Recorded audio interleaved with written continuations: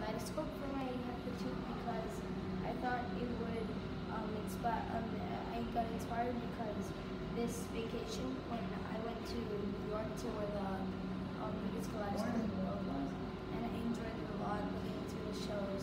And if you want to see for yourself, you have to put it at an indirect source of sunlight.